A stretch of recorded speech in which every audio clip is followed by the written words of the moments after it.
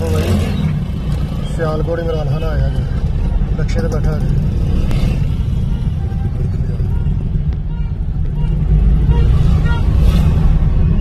ਟੀਟੋ ਭਾਬੀ ਜੀ ਯਾਰ ਇਮਰਾਨ ਖਾਨ ਦੀ। ਚਲੋ ਇਮਰਾਨ ਖਾਨ ਵੇਖੋ ਗੈਸਟ ਕਰਦਾ ਜੀ ਸੜਕ ਸਿਆਲਕੋਟ ਦੀਆਂ ਸੜਕਾਂ ਤੇ।